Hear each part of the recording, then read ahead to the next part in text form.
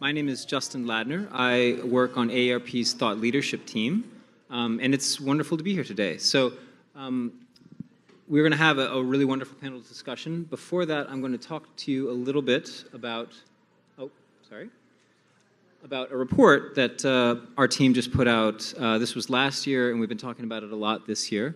Um, it's called the Global Longevity Economy Outlook. Um, I should give you a little bit of background in the kind of work that I do. So broadly speaking, um, my role at AARP is to oversee our longevity economy portfolio. And that is the research that we do discussing the economic activity um, of people 50 and older, both in the United States and around the world. So the sort of origin of this portfolio dates back to 2019 when we published the Longevity Economy Outlook, which focused on the United States and individual states. Um, and we talked about things like the consumer spending of people 50 and older in the United States, how that produced GDP, how that supported jobs, how it supported wages, and also other things like um, the uh, non-economic, or the, I should say, non-market contributions of older people, such as volunteer work, caregiving, those kinds of things. Um, and that report really resonated with people, so we decided to follow that up with a report that covered the entire world. So in this um, report, which we published last November, um, we cover uh, or we estimate global, um, uh, we, get, we, obtain global estimates for consumer spending uh, for the 50 plus population, and then we also look at 76 individual economies where we can measure things like consumer spending and the impact of that spending on outcomes like GDP, employment, and wages. So I'm going to give, this is a very data intensive report, I'm going to give a very broad overview so we can get to our panel discussion. So I'm going to talk about four things um, related to this report. Uh, first, uh, uh, sort of the major underlying driver of change when we talk about the longevity economy is demographic transition. So basically every part of the world is aging. Quite a few, quite a lot of the world has already aged significantly relative to only a few generations ago. Um, and that, that aging is really accelerating, particularly um, in, in developing parts of the world today. Uh, they're experiencing unprecedented rates of demographic change, which have, which have some very powerful implications for how those economies will develop. So that's kind of the key driver of all these results, is that the population is aging. As that population ages, its role in spending becomes correspondingly greater. So as a population, as the 50 plus population in a country goes from being 10% of the population to 20% to 30% to a case like Japan where it's nearly 50%, that group becomes a much, much more powerful consumer group.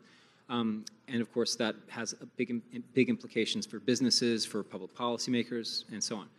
So consumer spending um, becomes more and more driven by older consumers, and as a result of that, older consumers become more and more responsible for supporting economic outcomes that we really care about. So the three that I'll talk about today are GDP, the production of goods and services in an economy, employment, and wages. So um, I should also say um, we cover, as I said, 76 different economies in this study. Um, going along with SOCAP's uh, regional tracks for this year, I'm going to focus on a set of nine economies, three from Latin America, three from Southeast Asia, and three from Sub-Saharan Africa.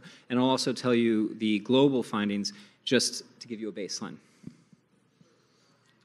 Okay, so first, demographic change. Um, the economies covered here, again, I mentioned the regions we're drawing from. If I think about the world as a whole, in 2020 already, about one in four people were 50 or older. By 2050, that fraction is going to grow to nearly one in three. So about almost 33% of people by 2050 around the world are going to be 50 or older.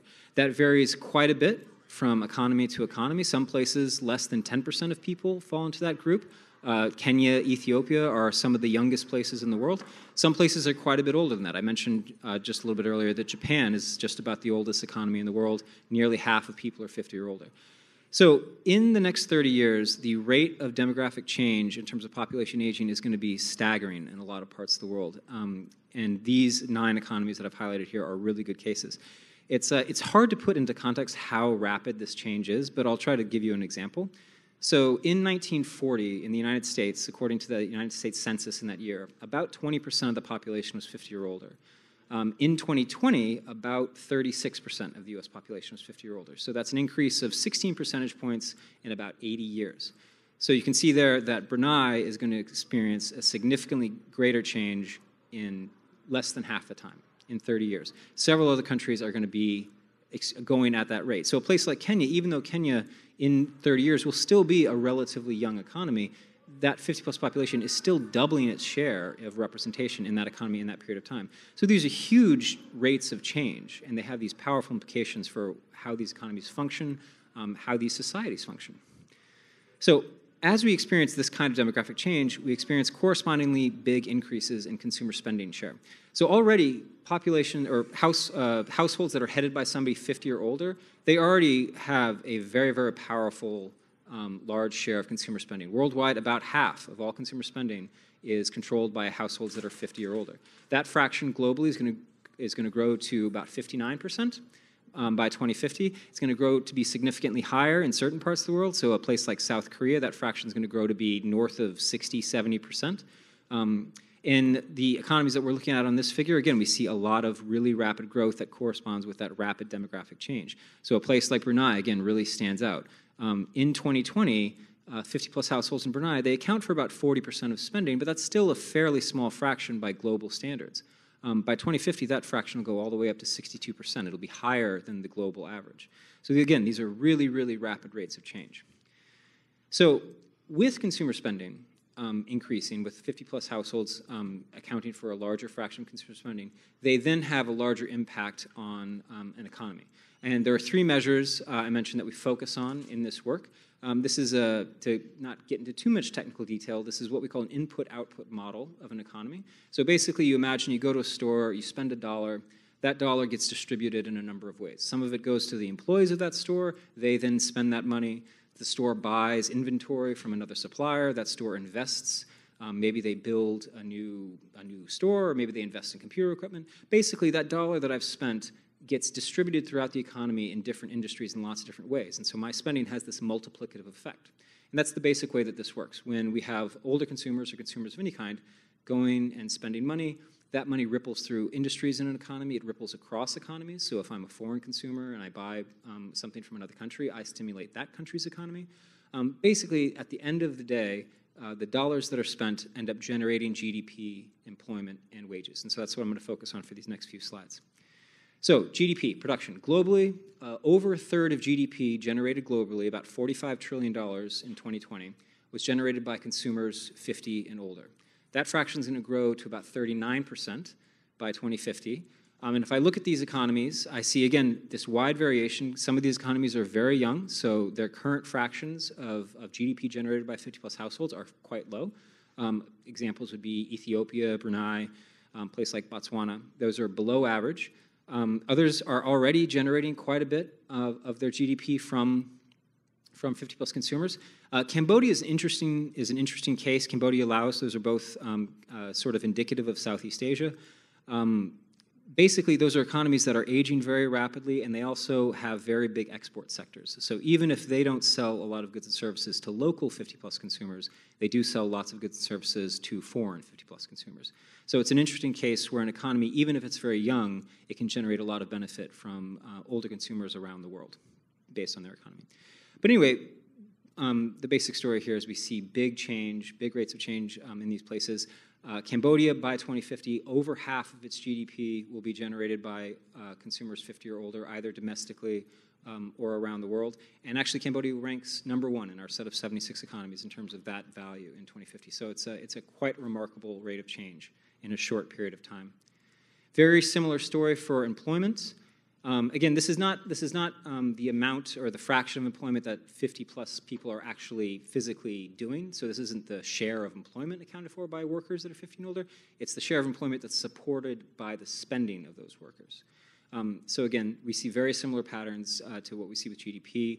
Um, countries that are aging particularly rapidly, countries that rely on older consumers in other parts of the world, they're going to see, they have the highest shares now and they see the biggest rates of change.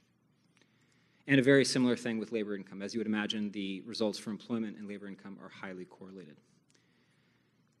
Okay, so before I um, end the presentation and bring up the, the, the, panelists, I want to talk a little bit about some forthcoming work that we have because I think it, it's a nice lead in to what we're going to talk about in the panel discussion today. Um, and the basic idea here is with the longevity economy results that I just talked about, you might be inclined to say, well, so you're telling me that older people are becoming a larger part of the population and therefore they're more, they're more economically important. That's important, but it's also kind of a one-dimensional story. And the point that I want to make is that that's really not even close to the end of the story. The truth of the matter is that we aren't just having population aging, we're having the economic roles of older people evolve in really fundamental ways. And so this year, we're doing a series um, that we call Revelations Through Data, and the focus is on busting myths and, myths and misconceptions and kind of highlighting surprising facts about those evolving roles that people don't necessarily think about, but really should, because they're important from a social point of view, from a policy point of view, or from a business point of view. So this is an article that actually will be published this week. Uh, there's just some extracts of the findings here. And we call it Thinking Beyond Prime Working Age. So in the United States, prime working age is defined as uh, people that are age 25 to 54. The basic idea is that in this age range, you probably have finished your formal education, you're probably not old enough to be considering retirement, so you have, generally speaking, a very high attachment to the labor force, and you tend to be extremely economically important. You're far more likely to be supporting a household, for example. You tend to pay the lion's share of taxes. You tend to account for a large fraction of consumer spending. So, from a policy point of view, from a business point of view, this group of people tends to receive a lot of attention. And the point that we make in this article is that, as important as that group is and continues to be, if I look at people who are beyond prime working age, people who are 55 and older, their role in the labor force has just completely exploded over the last 30 years in fundamental ways. And so I'm going to show you some examples of that. The very first thing we can look at is just labor force participation. This is um, the labor force is basically anybody who is currently working or looking for work. That's our simple definition. If I look at the share of the labor force that's 55 and older, just 30 years ago in 1992, only about one in nine workers would have been 50, 55 and older in that group. Uh, it would be quite unlikely to be 65 and older in that group. Only about 2.7% of the labor force was 65 or older in 1992. If I fast forward to 2022 and I look at this change over time, you see this explosion in the representation of people 55 and older. They, basically, it's more than doubled in this period of time. Again, it's, it's hard to state exactly how rapid this change is, but it's basically a more rapid change in a labor market than you really have ever seen. Um, there's no good historical context for how fast this changes. And it's particularly fast for particularly old age groups. So, for example, if I look at the 55 to 59 age group from 1992 to 2022, there's an increase in their share. They go from being about 5.4% of the labor force to being about 9.3%, so something slightly less than doubling. But if I look at 65 plus, I get a near tripling in that value from 1992 to 2022. So it's a very, very rapid rate of change. Um, just 30 years ago, only about one in nine labor force participants were, were 55 and older. Now it's something closer to one in four. If I look at the full-time workforce, I see a very similar pattern. Now, the relevance here is that full-time workers tend to have a stronger labor market attachment. If you're working full-time, it's probably for a strong economic reason. You're probably supporting a dependent family, for example, or you are you're, you're basically in the labor market for a more prolonged period of time. That's a good indication if you're if you're working full-time. So this is not the increased labor force participation of older workers is not a story about workers necessarily going back just to be part-time or just to do a little bit of work on the side. This is very much driven by workers who are who have a much longer full-time commitment to the workforce. Again, a very similar pattern. You see that the oldest age groups here are experiencing the greatest change. Again, 65 plus, we see a tripling in their representation uh, in the full-time workforce in just this 30-year period. Now, what if I talked about self-employed workers? So um, our panel discussion is going to focus a lot on entrepreneurship. Um, if I think about older uh, people in general, they have always actually, I would say, punched above their weight in terms of entrepreneurship. They've been more likely to be self-employed relative to their younger counterparts. But again, their share, their representation in, self, uh, in the self-employed workforce in the United States has really exploded in the last 30 years. It's gone from being about one in four, something less than one in four, 22.7 percent, in 1992 to nearly 40% in 2022. Um, and again, this is, a, this is a huge rate of change. Now, finally, one thing that I'll point out just to end and then start the panel is that, of course, as this population, as people 55 and older become a larger fraction of the labor force, their share of income grows correspondingly. And in fact, it's more than doubled um, if I go back to 1992 and then compare to 2022. In 1992, about 12.9% of all labor income, this is income earned from salary or wages in the United States, um, was accounted for by somebody 55 or older. Now that fraction um, is something closer to 26%. It's about 25.4%. Um, again, a huge change in a small amount of time. And excuse me. And this has um, big economic consequences. This group now accounts for a much larger fraction of consumer spending. They're much more likely to support households. Their fraction of taxable income has gone up significantly, so they contribute a lot more to the tax base. Um, again, basically, it's a group that's become incredibly economically important. Um, and the point of this article and this work in general is to highlight that because of that importance, we should have labor policies and employment practices that basically work for every generation, that don't just focus on one group of workers, that make sure that at every stage in the life course, somebody can work and meet their goals. Um, and in doing so, basically promote economic activity that's beneficial to every generation. Okay, so um, I'll conclude by just saying um, in all this work, we have a few basic recommendations, um, and there are five that, are come out, that come out of the Global Longevity Economy uh, Project. The first one is about creating actionable plans for aging. So this aims a lot at policymakers at every level of government, uh, local, state, and federal, um, or overseas at any level of government, um, create an action plan. Basically, how is aging going to affect your economy, your society, and how do you plan for that? How do you maximize this opportunity? Um, that's one of our recommendations.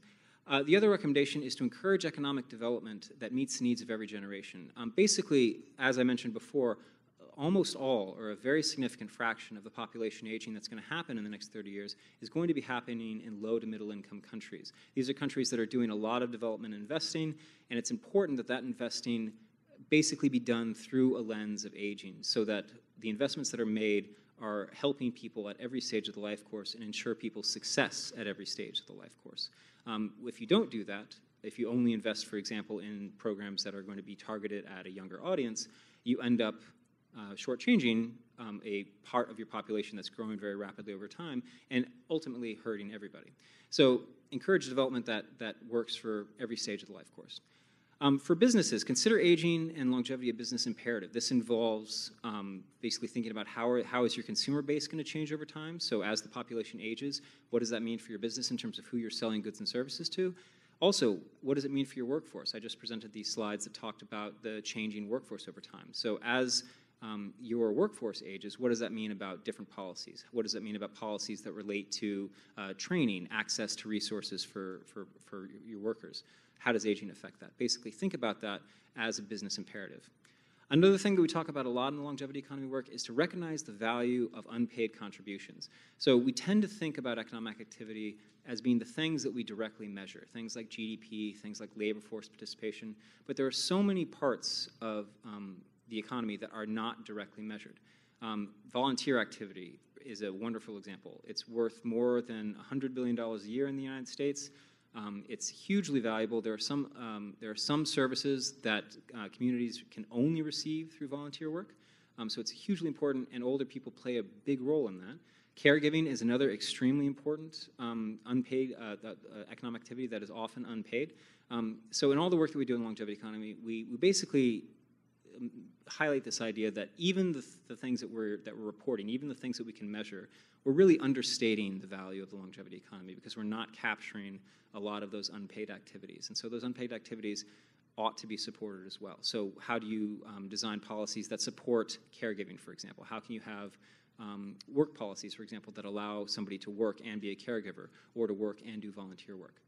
Um, finally, tap into growing global population of older consumers. So one of the big themes in the longevity economy, in the Global Longevity Economy Report, is that older consumers are important everywhere. If I look at any economy in the world, an older consumer is going to be important there, either because that economy is aging very rapidly, or because that economy uh, interacts with older consumers overseas, or both of those reasons. So those are kind of our five big recommendations coming out of that report. So without further ado, I'm going to um, welcome our panel. Um, and I think we'll go back to the panel slide. Um, so let's see, I, I, don't want to go in any particular order, but first I'll, welcome my colleague Felicia Brown.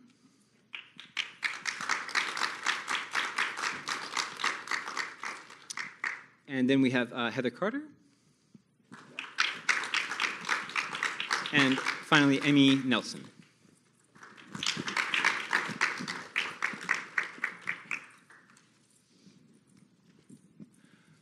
Okay, thank you all so much for joining us today. So, um, I thought I would start our conversation by talking about older consumers and basically what that means um, from a business perspective.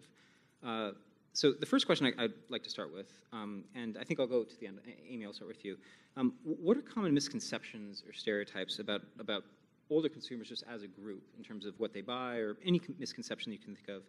Um, and what's the sort of how is that a barrier to success both for those consumers and also for businesses? I think uh, a big issue that we have is this belief and bias that older consumers are not tech forward or tech first. Hmm. Um, and Gen X is now older, and they have been working with technology for decades. And so I think it's a loss for everybody because we aren't looking at older consumers as people who are people who want to learn new tech to better their lives, right? To stay connected with family, to make more money, to manage their money in a better way. Um, and then I think it's you know it's a loss on the other side if investors aren't thinking about it because they're not thinking about all of the massive opportunities that there are out there. Yeah, great. Um, do either of you want to? Anything? Yeah, so I, I, would. Am I on? Hi. Um, I would just add that I, I think on the business side too, you know, there's a lot of opportunity for businesses to understand the nuance of that audience and that consumer, right? And and to really do a lot more study on um, what their interests are, where they want to spend money, um, and invest and speak to that consumer um, in a more kind of holistic way. Mm. you know, that uh, people that are aging are um, way more physically active. They're mm. way more active on technology. They're sexually active, right? And and nobody's really marketing to them. Mm. Uh, kind of a more diverse range of, of products and things. Yeah. yeah, I agree. I think one of the challenges we have in society overall is that um, we use uh, we put a lot of energy and resources around marketing to the younger consumer. It almost feels as though once you hit that 50 or 55 mark, like you're dying. And, and we live in a very different society where older people are doing more, um, but um, there's just not, there's just a lack of acknowledgement to that. And so if you think about television and advertising, um, music, you know, it's all to the younger consumer. And so forgetting the value um, that the older consumer has um, to the to the marketplace. Mm. Yeah, I think those are all wonderful points. And actually, um, you, you, all three mentioned something that is a great segue into the next question, and that is um, not only this idea of to what extent are older consumers sort of not being um, paid attention to, but to what extent um, are older consumers just not understood because they've changed over time. So, so um, what are your thoughts on that? Basically, um, are, do we have a stereotype about older consumers that sort of says, hey, people of this age only buy these things, and that's really not true anymore. Absolutely, absolutely. Um, there's this notion in America, and perhaps across the globe too, that you know once you hit a mar- once you hit an age mark, um, you're you're pretty much done. Uh, and and so from a um, from an employer employment perspective, and I, I, work in the working jobs area, and I lead our small business work. But from a um, from an employer perspective, they they think about it as older workers are too expensive, and they have to train them differently. It takes more money to train older workers. They cost too much. Um, we have to continue to pay them too much. We can get a younger worker at a much much lower cost. So um, I, I, think I forgot your question, um, Justin, but I think that these that, are all great points. Yeah, I, I think you know it's just this perception that we have of older people. Um, that has become very negative. But you know, if you think about it from a social socialization perspective, people are working longer, they're starting businesses, um, people are in their second and third marriages. There's just more vibrancy among older people that, um, that just go, goes um, um, overlooked. This example I always think about when I was growing up in the 80s, I loved the Golden Girls. You guys, Blanche was like 50, right? And they've got her like in a retirement home in Florida. I'm going to have a 10 year old when I'm 50. So, I mean, the mm-hmm. world has shifted. But I don't think, to, to Heather's point, right, that a lot of what we're seeing as options to buy is, is changing. And I think it's silly sometimes when I think about it because if you look at like Viagra, it was the best selling drug of all time. Mm-hmm. You know, the company that said, we think that men are going to be sexually active over 50 or 60, they won. Like, they won billions of dollars. And so for other companies to look at that and say, I want that market share, I want that opportunity, not just for Viagra, but for like all the other stuff we do. Um, I think it's an enormous opportunity that everyone is just missing. I completely agree. And fun stat: um, forty percent of Americans over sixty-five to eighty are sexually active. We're just going to talk about sex. Is guess. that's what this. Welcome to this panel. It sells if we're talking yeah. about the economy. Um, but you know, it's it's that's important, right? To recognize and to and and we we talk about people younger than fifty and over than fifty as like two separate groups. Mm-hmm. They're all just people, right? And and they have pretty much the same kind of interests, right? And they mm-hmm. want the same things. They might go about acquiring them differently, mm-hmm. um, but everybody wants connection. They want uh, quality in their products. They want affordability and they want convenience, right? And so I think if if businesses can look at that kind of thread through line, Yeah, that's a wonderful. Uh, sorry, Felicia. No, I was going to say, Justin, you showed the, the research that people are clearly living longer. Um, people are working longer. They're, they're in second and third careers, like retirement. Like, we don't even use retirement in our acronym anymore. We're just AARP. We're not retired persons any longer because we know that technically people just don't retire. They just continue to um, morph and they just continue to um, move into the next phase of whatever that is for them. So, um, yeah, we don't even talk about retirement yeah, in I the mean, building. I, you know, that's that's a wonderful point. And again, to kind of get back to that work idea, I mean, another big thing that's that's changed in the United States and really around the world, if I'm just thinking about work, is the sort of the barrier between working and being retired is basically very fungible now. People routinely come out of retirement. Um, there's actually a pretty a, a couple percentage of, of people that are, that were retired at, at any given point in time uh, actually come out of retirement on a monthly basis um, because maybe they that they've decided that for whatever reason they've had a life change they need to go back to work maybe they just decide that they're interested in continuing working or they start a small business for example that's a very common thing now um, for, for, for- older for, for older adults um, so yeah this, this idea of retirement again th- just the concept itself has really changed in the united states and actually, this is a great segue. So, talking about um, work and, and older um, adults as entrepreneurs, I want to move into that now. Um, I started off by asking about stereotypes that affect older adults as consumers. Now I'm wondering about stereotypes that affect them as entrepreneurs and their access to capital, their access to all the things that they need to be successful. Um, so, Heather, I'll start with you and then I'll go to the rest of the panel. Yeah, I mean, I think it's really unfortunate that um, you know in the in the venture community, particularly, it's this very poorly kept secret that you know VCs will only look at entrepreneurs that are 32 and under, and past 32, they become a little bit skeptical, and you become less fundable. Um, I think that's really sad because 32 is so young, right? And um, I think the media plays a bit of a part in that. I think that we have glorified uh, young founders as being exceptionally innovative, and you know they, they're the only ones with good and interesting ideas and enough gas in the tank to see those through. Um, but yeah, I think that's a huge barrier for for older entrepreneurs to even get funding, and um, you know ultimately they have great ideas and and I think a few things come with older entrepreneurs. They have more is more, right? In more years, they have more of a network. They have more disposable income. They typically have more of a support system. Um, and sometimes it takes a little while to have enough life experience and wisdom to have the big idea and to want to solve some of the bigger problems, right? Mark Zuckerberg started uh, Facebook at 19. Evan Spiegel started Snapchat at 26, right? Like, you know, those are great companies. Everybody's, you know, for the most part using, well, maybe not using Facebook as much anymore, but, um, you know, they're, they're worthy companies, but younger people are going to solve problems that they see in the world, right? So, connection, I, dating apps, right? How do I get my food delivered to me faster? Um, you know, great, I use those apps too, but older founders are going to solve problems for people in mass in different ways. Uh, Amy, I'll go to you.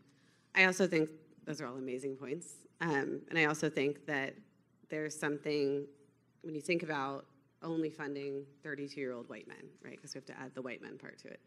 Um, you know, a lot of 32 year old white men are able to start companies because they had privilege of their parents paid for college or their parents helped them get started. If you look at like Bill Gates and Jeff Bezos, their fathers helped them build their companies. Um, and so you're losing out on a lot of people who just can't do that at the age of 32. I mean, I, I, when I started the Riveter when I was 37, the only reason I was able to do it even that young is because I was married and my husband had a career that ha- we had health insurance for our kids, right? And that allowed us to do it. And I had a whole spreadsheet of like how long of a runway I had that we could afford childcare and I didn't take a salary. And I ran at that runway and I made it. But like if I hadn't, there would be no Riveter. Um, and so I think you're losing out on the ability and innovation of a lot of people who just don't have the financial means that young to start a company, to step, step away and do that. And also immigrant communities. Um, there are a lot of immigrants who come to America at an older age who have incredible ideas. I mean, the best startups in this country are, are very much driven by immigrant populations. Um, so I think there's an, once again, an enormous opportunity. I mean, all you see when you look at this is opportunity to make money. Uh, you know, it's very real. Um, and so I think those are some things to think about when you're thinking about the value of, of founders that are older. You know, you think about, when you think about business owners, the average age of the business owner is 45. But nobody highlights that. We always talk about the Mark Zuckers of the world, the younger people who are 35 and under who, through their lens and a lot of the world's lens, that they're changing the world. And older people are changing the world too. Um, they've been in business longer, and as Amy indicated, you know, um, they're just bringing so much more to their business through their life experience, through their work experience, having worked for 30 plus years. You're, you're leveraging all of that into your business. And so you're, you're operating from a different vantage point. And so, but I think that the attention still remains on younger people. And so, the, but it says something, there's something to be said that the average business owner is 45. Um, and so I think about the pandemic. And the pandemic, as bad as it was, afforded an opportunity for people to really bet on themselves, take that leap of faith. There was a record number of business applications filed during the pandemic for a number of reasons. They pushed out of the workplace, they had child care, they had elder care, they just could not go back into the workplace. But most of those applications were among older people. And so many of them started without knowing how to start a business. Many of them were people of color, many of them were women of color. And we did a research around women's entrepreneurship two years ago now. And what we learned from that was while they didn't know what they didn't know, they started anyway because they wanted to take that leap, they wanted to have something for themselves. So, entrepreneurship is not just for younger people. Um, younger people, older people are betting on themselves and they're leveraging all of that wisdom and know how that you've indicated um, into their businesses. Now, the challenge is the capital and the training that um, they just don't know where to go and they don't have the capital to kind of um, to get started and most of them bootstrapped um, their businesses so Felicia, that's a, that's a wonderful point. And actually, it highlights something which I think is, um, I bring up a lot. And so, for example, those, those labor force um, numbers. Um, it's this idea that basically, uh, as a population, older adults have already figured out a lot of solutions on their own. They figured out how to get back into the workforce, how to start their own business.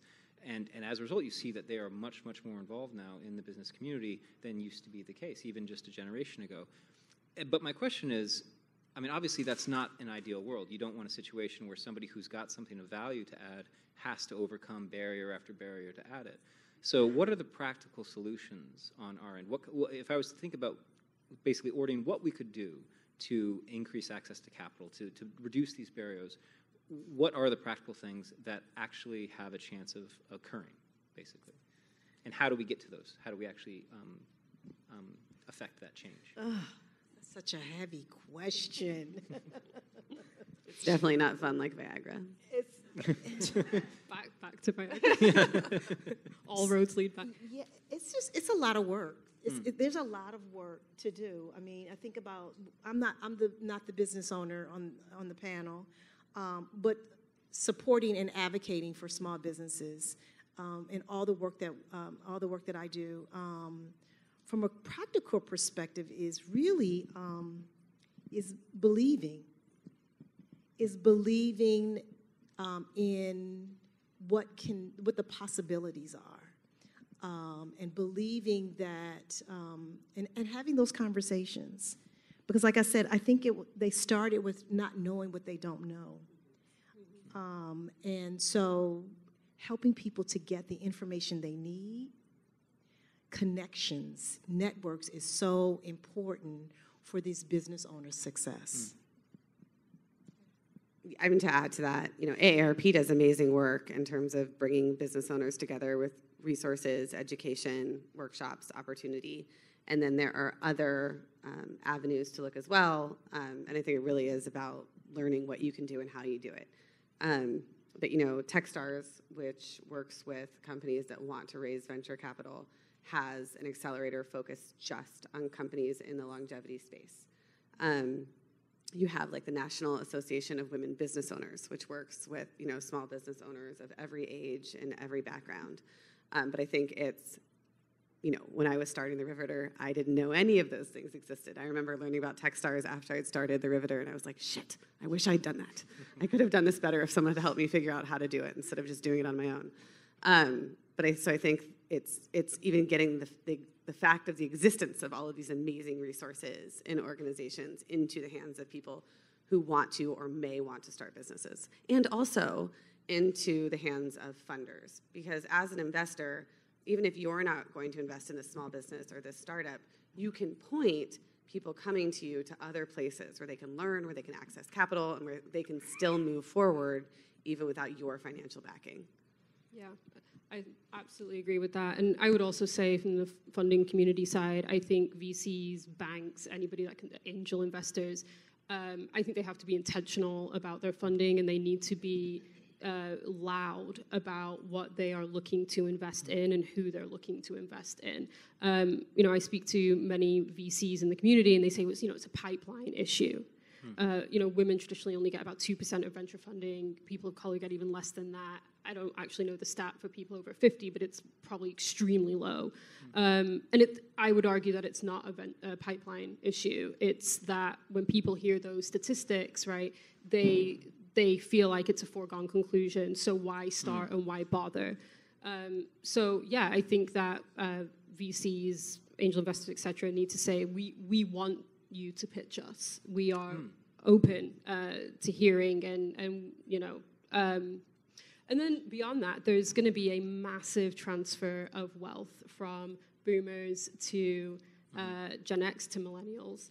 And I'm just putting this out there that, you know, unless you want all of that money going to Uncle Sam, maybe invest some of it. Invest some of it in people like you and in silver tech. And, you know, why not? Start a fund.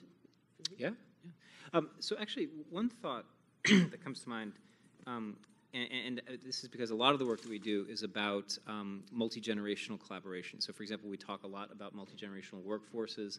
Uh, we've done a lot of survey research which shows that both older and younger workers like to work in a multi generational context. Older workers and younger workers both because there's sort of mentorship opportunities that go both ways. Um, there's just a lot of benefit that gets gained, and we actually find that these groups are more productive. Um, and I'm thinking about that in the context of entrepreneurship. And, and Heather, I wanted to ask you this question um, about the sort of opportunities for collaboration, multi generational collaboration in startups, um, in, in, in, obtaining capital. Do you see that as being a, a, big thing going forward? Yeah, I mean, I think it's crucial. Um, you know, the whole point of startups is that they are being disruptive to the status mm. quo, right? And that they are improving um, on what there is currently on offer. And so if we can't have you know multi-generational allyship and interaction and that means everybody getting a seat at the table mm. that means representation at every level um, it has to be a ground up thing. It can't just be a top down, right? I see bigger companies trying to um, have initiatives around that, but I think it has to be bottom up as well, and I think it happens at that level. Felicia, I know you do a lot of uh, work in our work and job spaces you mentioned. Um, can you talk about some of that multi generational aspect of that work? So from, um, from a work perspective, we um, have what we call the employer, um, uh, employer pledge work that we're doing. And really, that work is really around advocating for multi-general work teams because there's more value um, in diversity and there's more value in um, cross-age teams as opposed to just one age um, in, the, in the workplace. And so we do a lot of work around um, uh, really encouraging and promoting um, the fact that there, um, there's more greatness and more, more, better thinking in the room when, we, when you have a multiple of ages um, um, in the room. So that's the, the work that we're doing. We're working with employers to help them see the value of having um, not just older workers, but older workers working alongside younger workers and, and, and vice versa, and, and all, all that, that bring all that um, that you bring to the work into the workplace. Okay, great. Amy, say. Uh, Just something to add, if you are an investor and you're working with startups or small businesses, or if you're an employer, like it is an enormous hack to, to share with the companies that you're working with to seek out older Americans to join their smaller businesses or startups. The Riveter's first CMO was retired, and I convinced her not to be retired to come build this company. And I mean, I knew nothing about marketing, and she was a genius, and she was a mentor, you know, and she was willing to mentor younger teammates. And so we were able to build an amazing company on the marketing side, and it was a marketing company, so that made sense. Um, like because we were able to bring together those different generations. Our CFO was over 50, you know, and she she came on and she was like, I'm, all, you know, I'm kind of interested in doing more HR stuff. I've never done it. I'm like, great, you own HR, right? Because she had this experience and I trusted her. But I think it's it's once again the opportunity, right? That if no one's seeing it, you can go and grab this incredible talent uh, to help build newer companies. And, you, and, and also, I think about the, um, like the Small Business Administration. Everybody knows about SBA, and they have these resource partners um, that are like the Small Business Development Center, the Women Business Development Center. They have SCORE, and all of um, and all of those partners really work um, to bring um, all all levels of um, entrepreneurship together, but also bring those seasoned um, entrepreneurs to the less seasoned, and, and regardless of age. Just really depends on on your your expertise and your know-how that you can um, leverage to help um, business owners who are kind of new to this business game. Yeah. Um, so, uh, Amy, I wanted to ask you, and actually, this is a question for both you and, and Heather because you both founded the Riveter together, if I if I recall correctly.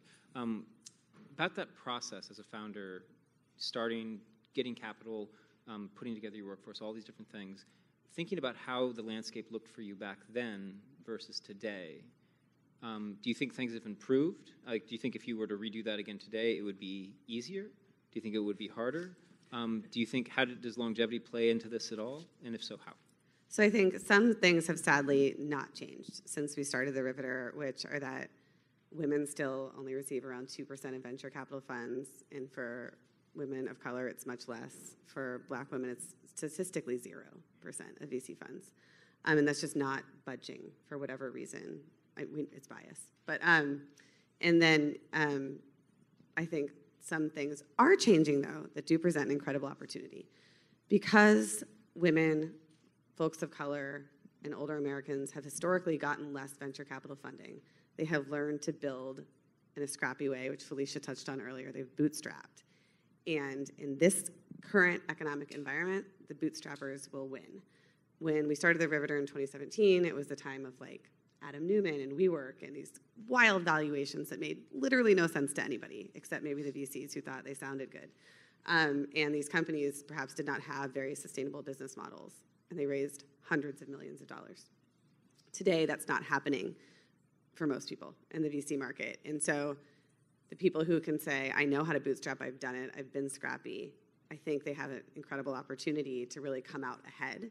Um, maybe not from venture funding, but maybe that's not the right answer. Um, or they can get funding later in a later stage of their business. But I think that is a difference that we'll see today that is very cool. It's now, you know, it used to be sexy to be the person who raised the most money, and I think now it's sexy to be profitable. And I think that's really exciting because I think a lot of really great entrepreneurs who are typically overlooked will win in this climate. What Amy said. okay. And I will add that what I've seen uh, in the past, just the past three years, is the power of community. Like, yes, they're bootstrapping, but how community is rising up to support community. And um, that's really how these, these business owners are surviving, particularly uh, black women. Like the power of community, supporting one another, creating these spaces where they can come and sell their, their goods and services in the same place and don't feel like that's competition, but that they're supporting one another um, and bringing people to that space to, um, to help those businesses grow. Which I think that's a wonderful point. I mean, so one of the huge things that we talk about um, in our all of our longevity economy work, um, because I think one of the biggest misconceptions that really um, creates a barrier for older workers, for older entrepreneurs, for older people in general, is this idea that uh, we live in a zero-sum game where if I take from one group um, or if I do something for one group, it's about taking from another group. Um, so, for example, like if somebody continues to work longer, they're keeping a job um, that uh, a younger somebody entering the workforce might otherwise take, which is of course absurd because you don't replace somebody who's retiring at 65 with somebody who's entering at 22. Um, that just doesn't happen. Um, but but kind of thinking beyond that. So we make this point that um, by developing policies that work for older workers we basically mean that's synonymous with developing policies that work for every generation.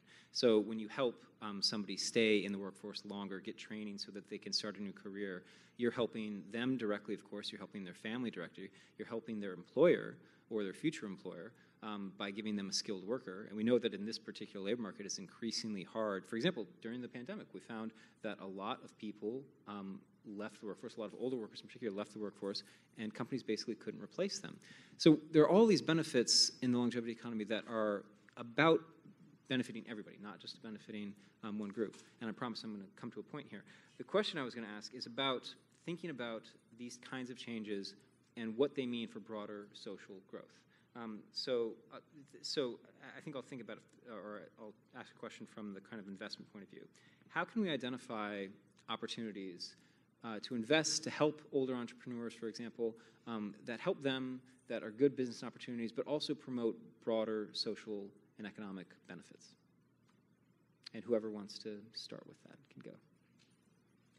Um, well, I'll just speak a little bit about, um, I think, companies that are doing interesting things in the silver tech space um, and that I think are just good for um, society in general. Mm there's this idea of connection, right? And in this digitally, digitally connected world, how just people are feeling more disconnected than ever. Mm. Um, and we're seeing this across multiple generations. Um, there's a kind of uh, slew of startups that are popping up that are actually trying to solve for connection uh, in real life connection with like digital components. Um, one that I think is particularly interesting uh, for the older generations is Roomster. Um, so, um, you know, people that have found themselves, whether they've been widowed or otherwise, alone. Um, they are now single uh, income household or no income, right? And um, they can find and partner up with other people like themselves um, and essentially create dual income households and solve for loneliness and all of these other things. And I think that's just a beautiful thing and something to think about in terms of community and connection. And yeah. it's the new Golden Girls. um, Felicia, in terms of the work that AARP does, I, I mean, Felicia does so much, so many different things at AARP. But one of the things that she mentioned is all the work that we do on entrepreneurship she's really at the heart of that. Could you maybe expand on some of those different initiatives? If you had to tell somebody in 30 seconds or however long you want to take, what are the things that are most important to you in that space? What would you say? So I will say that when we started this work a few years ago, our core audience was really people who were trying to get started, like people who just needed information, like they had an, a thought that they wanted to start a business, but where do we go? How do you how do you do that? And so we really wanted to serve that need that people um, did not have um, the information that they needed um, to really think about like what does it take to start a business like and what are the risks associated with that and so really just arming the, the, the they arming themselves with the appropriate information um, to really just kind of get started. And so i look at our work as a front door. We, you know you come through this door that we've created and you you get the information you need around how to start how to manage how to grow and then you take that information um, to uh, to outside organizations that do training, um, that provide access to capital to help you with your pitch, um, with pitching. And so we just serve as a front door. We we have uh, we just are the information arm. And so uh, when the pandemic hit, we realized that people started. And like our audience was not the people who were just kind of sitting on the sidelines thinking about it they were like, okay, I've started now. And so, like, now what do I do? And so we were like, oh, wait a minute. So we need to now kind of pivot to address some of their needs. And so we built this resource center essentially. And the resource center um, is just chock full of information um, around how to start, how to grow, how to manage, um, how to respond to people who are thinking about getting started, people who've started, people who've been in the game for a while, but they need to know how to um, get new customers. And so we we really um, we really just kind of filled this gap that we were seeing as a result of what was happening in this space around this um, small business space. So, but the other thing I started was um, this Meet the Founder series because what I learned was people wanted to hear from other people how they got started. Like, how did you do this? And so um, I started this series called Meet the Founder, and it really interviews and tells a story. Essentially, it's not about promoting their business, but really about um, promoting the, the how to and what did they do and um, who did they talk to and how did they get this courage to really step out on faith and do this without really ha- without having all of the information that they needed. So we have a small business resource center for the 50 plus, and um, there is chock full of information to kind of help people find their way. I love that, and I think you can never underestimate the importance of hearing the stories because you can't be what you don't see, like in that kind of mm. reductive phrase. But when I was raising money for the Riveter, we raised $30 million. We raised a lot, and I raised most of it. I was pregnant, and I had never seen a pregnant woman do that. And it scared me because I thought, if I haven't seen it, can it be done? And of course it can, right? There's, you know, of course it can. But you have to hear the stories. You have to see see the see the failure too, right? Because we always see the story on the front page of Entrepreneur or Inc. or Forbes of the kid genius that did X, Y, or Z. But for most of us, for many of us, our success stories are riddled with like very horrible failures. And so hearing those, I know that you talk about them, and it's so important. And I think there, there's just so much there.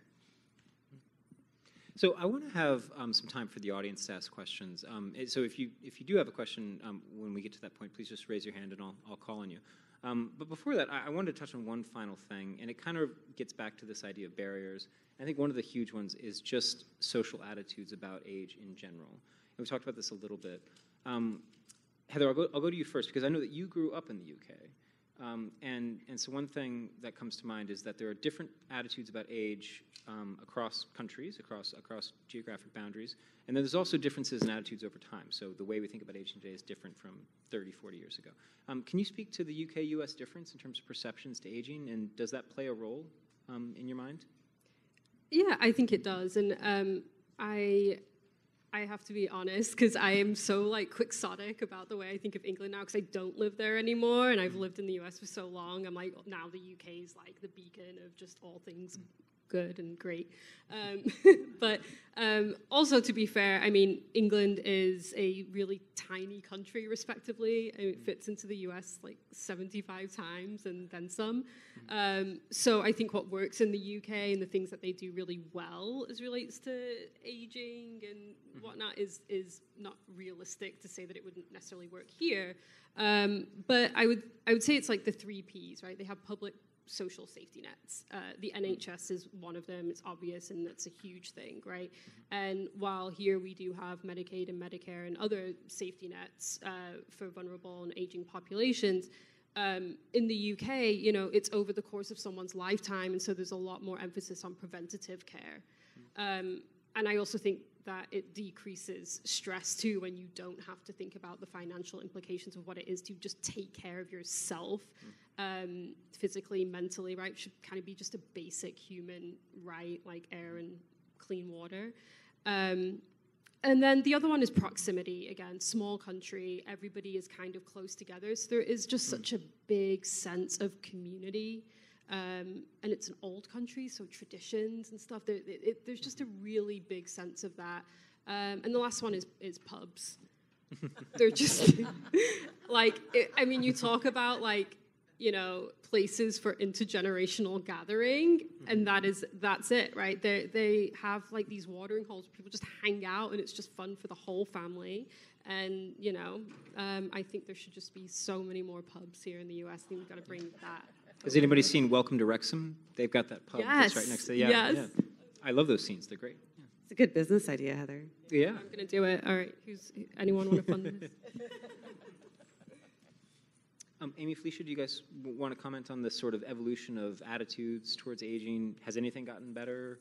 Are things getting worse? I think from a cultural standpoint in America, we're starting to be more open minded about aging. I mean, Madonna's on the stage in her 60s just killing it, right? We, we don't really blink anymore at that. Um, but I still think in America we see aging as a problem and not an opportunity. Like if you look at a lot of the startups in the longevity space in biotech, they're all about like preventing aging. I don't really want to live forever. Maybe you do. But like it's, you know, this is something that's going to happen. And so it's like, how do we make it better?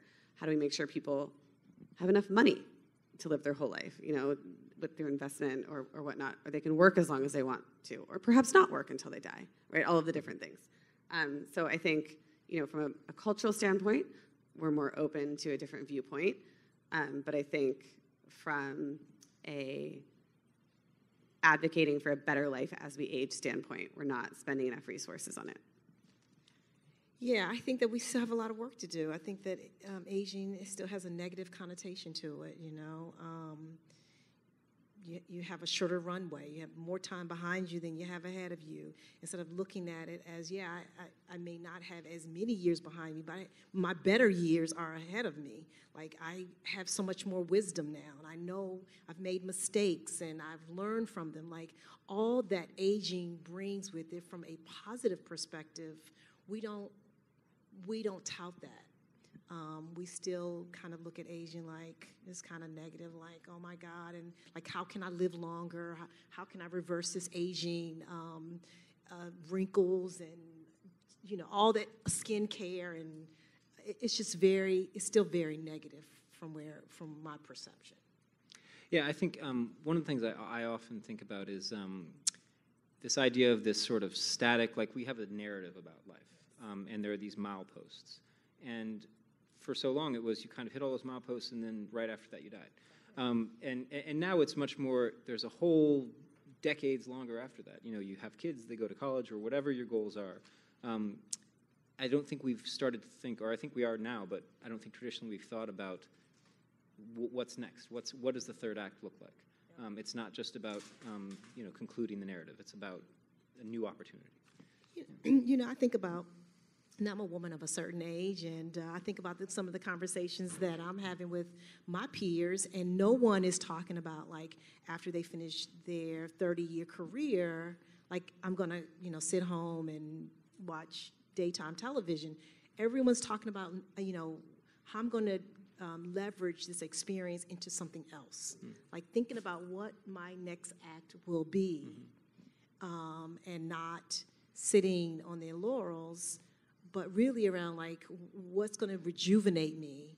Um, and, and now is the opportunity to really do something that I've always wanted to do because I've earned the money that I needed, then I can, I can fund that, that desire that I want to do now. I think that's a great message. Now I want. Let me actually check and see how much time we have. We do have a little bit of time for questions. Um, I want to uh, open up to the audience in case a couple of questions come up. I saw your hand in the back first, so I'll go to you.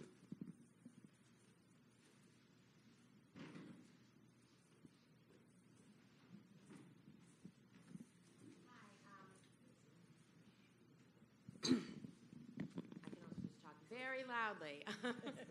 Hi, um, my name is Sandy Lacey, and I'm the executive director of the Howe Innovation Center at the Perkins School for the Blind, where we're working on um, accelerating innovation in disability technology. Disability and aging highly correlated. Um, I was wondering if uh, one or two of the panelists would mind talking to what you're seeing with regards to how advanced technologies are opening up, um, like you know, accessibility for uh, the longe- longevity economy. I'll take a stab at that a little bit. Um, we have the Age Tech Collaborative at AARP that um, really looks at um, startups that are really kind of being revolutionary around helping people to age better.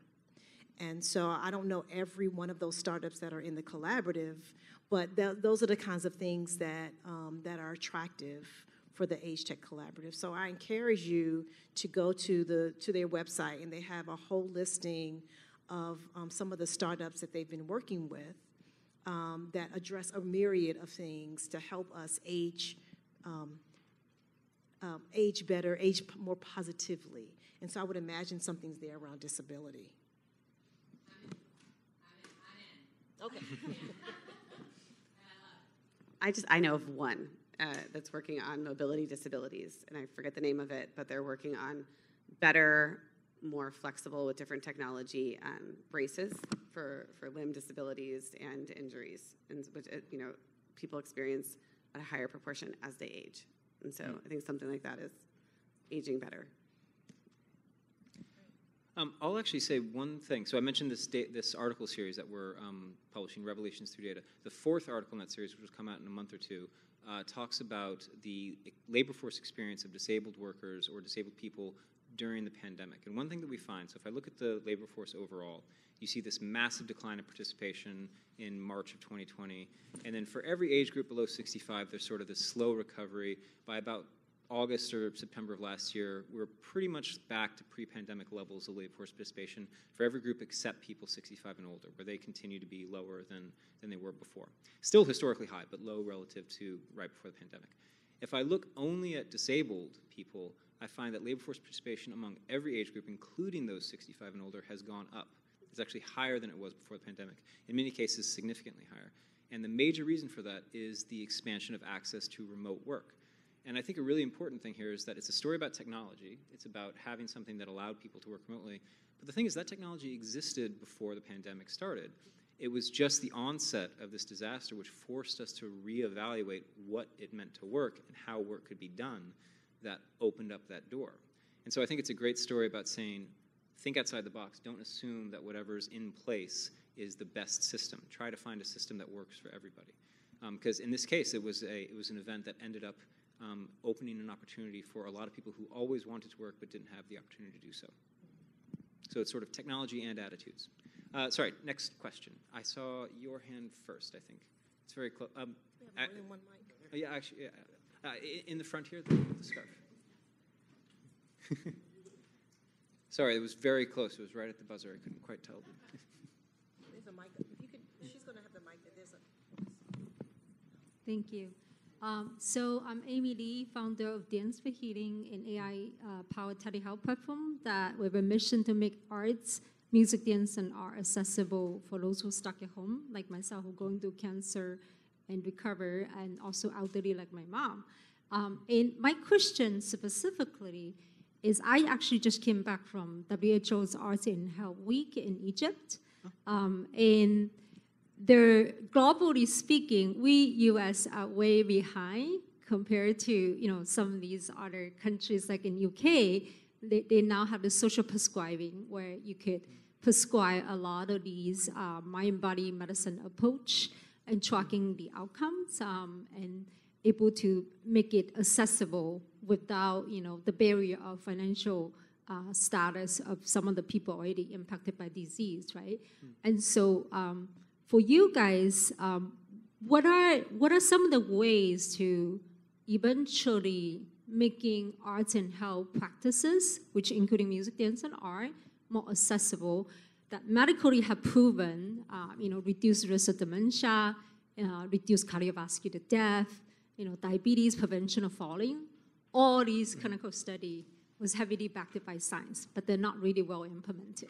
And for you, especially Justin, since you're in policy, I'm very curious about what you think about that. How do we create changes in the U.S.? Gosh, that's that's a really interesting question. Um, healthcare policies, I'm definitely out of my depth there, um, so I don't have a great answer. I think that's a wonderful point. Um, I mean, just in general, just speaking about about access in general, we have a big equity issue in the United States where uh, there's a there's a population of people that basically are priced out of proven uh, technologies or proven treatments that are helpful for them, both when they get sick and also in preventative terms. Um, so we find that people that have greater income, for example, have better preventative health, and therefore they develop things later in life, or they're able to prevent things later in life. Um, I don't have a great answer for the question. I'll, I'll open up to the panel. Does anybody uh, have a have a thought? I really don't. I know that we have a brain health initiative, um, and I know that some of our um, activations, our events that we have are around music. Um, and so it's tied to our brain health initiative and how music really helps stimulate the brain. Um, but that's the extent of what I know. I mean, I, you know, I, I don't work in that, that area, um, but just kind of um, learning about what they do internally. It's a little bit of, about advocating um, how entertainment and music can really help stimulate the mind. I, I think also it, a certain amount of pressure has to be applied on the kind of payer level. I think if there's enough people asking for these kinds of treatments, modalities, etc., um, they're going to be forced to look at that. And the payers are typically just going to look at what the longitudinal health gain is of that, and if they see there's going to be a savings for them, right? Because it just all comes down to money in a healthcare system that's motivated by that. Um, then the, you know that's possibly something they would uh, subsidize. Um, but I think it actually has to happen there. And to that point, I think a, path there is building these communities, advocacy groups, et cetera, that, that help get you there. You know, we build community because we want change, because we want connection, and I think AARP is an amazing example, right? It's become one of the most powerful thought leadership and advocacy organizations in this country because a group of people who were older in America decided to come together and use their force for collective change. Mm. And I think that's, in America, probably the most powerful way we have to get to change mm. outside of collective bargaining, yeah. right? Yeah. Okay, I think we do one more question. Sir, I saw your hand first. Uh, oh, oh, Lady, okay, I'll tell you what, we'll do, we'll do both questions. We'll, we'll, yeah, we'll do, do we'll do both questions. Just, Mine will be quick. Um, okay. You spoke a lot about entrepreneurs and also about um, older people as consumers. For public companies, though, it's very common to see them lay off older people with more experience. As soon as there's a little bit of stress and pressure, they can hire younger people a lot cheaper. Hmm. Are you guys aware of any data or commitments or third party assessments of public companies on their policies around retaining, training, et cetera, a, a diverse age workforce? Actually, we do have that. Um, my, my team colleague does uh, much of that work, and so she is um, constantly. Um, I think we have the value of the older worker. We just came out with that study last year. It talks about the value and um, the cost um, of the of the older worker. So I encourage you to kind of go to our website and look that up. Um, so yeah, so we are right in that talking about um, yeah the, why older people are still valuable um, in the workplace and the and, and what they add um, uh, to the workplace. Um, do, does anybody else want to say one more thing? All right, then you, sir. I'll get to your question. Really quick, really simple. Uh, I just want to appreciate you all uh, for taking time. Really fascinating discussion. Um, uh, my name is Kevin Owers. I'm the general, general manager of ReLeaders, and we have a business network. So the fact that 55 and older are becoming entrepreneurs uh, and also, you know, have a ton of experience is really enticing to me. My question is, what is the number one platform for recruiting these individuals who are exiting the workforce? or trying to re-enter? That's a great question. I think it's a great business opportunity. I mean, I, I actually, I don't, it's, when Heather was mentioning dating apps, I'm sure there's a dating app that focuses on people over 50, but I don't know it. Um, and I think it's the same thing with the recruiting platform. I don't, I don't know of one. I think AARP has a, a W- We have a job board, so, so we have. Is a- that what you're talking about from a work or business?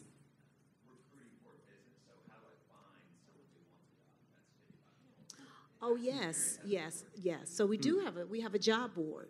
We have the AARP job board, and a lot of small businesses use that job board to find employees. Um, and, and so there's something to be said about recruiting an older worker, uh, because they, you know, they come to work, they, they sh- they show up. So, um, and so we think that's why, um, uh, a lot of smaller employers are attracted to the, to- to the job board. And so it goes both ways. It's, you know, the employer is looking for someone, but the employee is looking for a job as well. So, um, so yes, if that, I meant- wasn't sure I understood your question. Uh, but yes, we, we do have that. Okay, well, I guess I, I'm very sorry. We're, we're, we're pretty much way over time for where we were supposed to be. Um, but thank you so much. Great audience, great questions. Thank you to the panel. Um, it's been a wonderful discussion.